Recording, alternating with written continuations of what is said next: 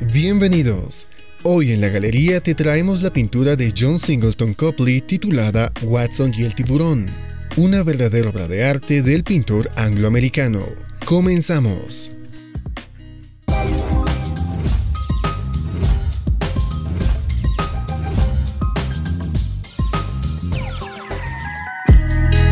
Watson y el tiburón es una pintura al óleo del pintor estadounidense John Singleton Copley, que representa el rescate del niño inglés Brooke Watson de un ataque de tiburón en La Habana, Cuba.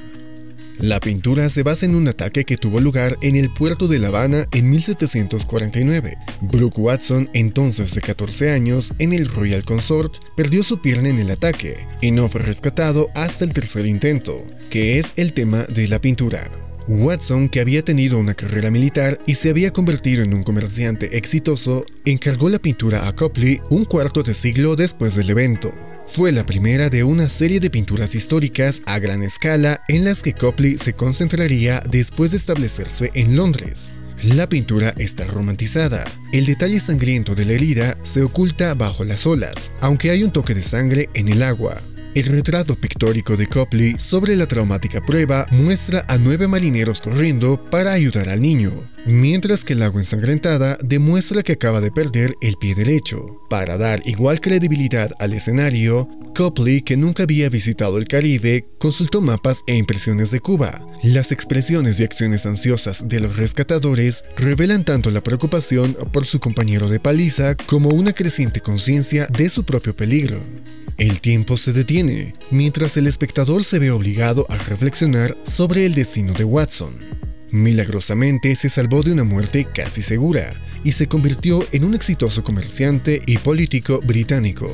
El análisis infrarrojo muestra que el viejo contramaestre era originalmente un hombre joven, y los bocetos preliminares revelan que el marinero negro en la parte trasera del barco fue originalmente imaginado como un hombre blanco de cabello largo y suelto, el tiburón es menos convincente e incluye características anatómicas que no se encuentran en los tiburones, como labios, ojos mirando hacia adelante que se parecen más a los de un tigre que a los de un tiburón y el aire que sale de las fosas nasales del animal.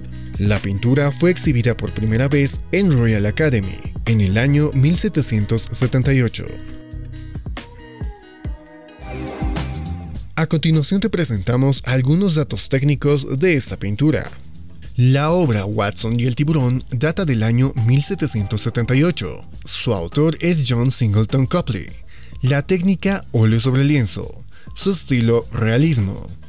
Tiene una medida de 182 por 229 centímetros y se encuentra en la National Gallery of Art en Washington, Estados Unidos. Dale me gusta si el video te gustó y cuéntanos tu opinión acerca de esta pintura. Dinos también qué otras obras de arte te gustaría ver en este espacio y no olvides suscribirte al canal y activar las notificaciones. Eso fue todo por hoy, hasta el próximo video.